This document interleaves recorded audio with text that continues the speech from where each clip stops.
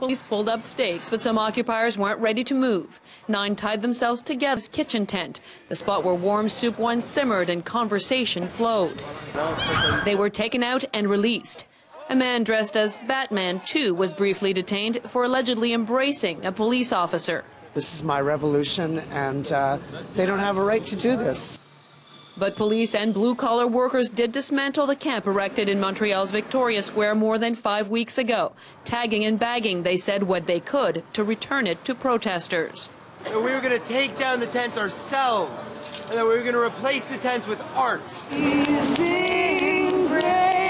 Early on in the occupation, Montreal's mayor said things were done differently here, that the city would tolerate peaceful protest.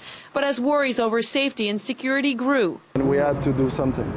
And so, an eviction, much like in other cities. In Edmonton, too, police moved in overnight. We were peacefully asleep uh, when we got woken up by these officers. Look at how many of them are here to remove eight, nine people. But protesters say their movement is too big to fail. That's why I'm here, because I want peace on earth, because I know it is possible to have a, just a better place. Many now say they'll take part in protests, boycotts, and set up and occupy somewhere else in the city. The city has no plans to allow them to plant their flag in another public space anytime soon. Geneviève Beauchemin, CTV News, Montreal.